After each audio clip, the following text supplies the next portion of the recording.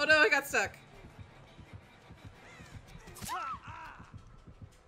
He literally used his power on me five times. You lost three gens. What are you doing? Hey all, it's Tat. I've been asked this particular question a lot, so instead of replying to each of you with the same response, I figured it would just be easier to make it a video instead. So, why do I use Frank's mixtape?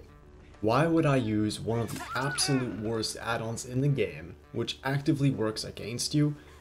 Because downing a survivor with Feral Frenzy is incredibly satisfying, and very few players expect to go down to a Legion during Feral Frenzy. I've gone against many streamers who had no idea what I was doing, or that the add-on even existed. Of course, there's a lot of ignorance around it. Since the killer can't see the deep wound timer, a lot of players believe it simply has no effect, even though it does. So I partially use Frank's mixtape because I enjoy it, and because it's a different way to play as the Legion, which from my experience, most players seem to enjoy, as I'm not immediately leaving them to go chase someone else.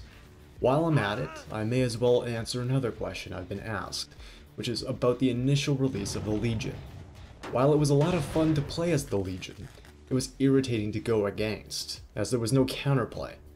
I would not want to go back to the way things used to be, and when it comes to Frank's mixtape, while I want the add-on buffed by another 2.5 seconds, I wouldn't want it to be oppressive. I'd like it buffed to the point where you can consistently use the add-on, without losing the match to do so, but not too powerful as where it could be used all the time. So those are the reasons I use Frank's mixtape, and those are my thoughts on the initial release of Legion. I hope this cleared up any immediate questions you have all had, and if you have any more, feel free to swing by my Twitch channel. I stream almost every single day, and yes, Frank's mixtape is mostly what I do. Thanks for watching.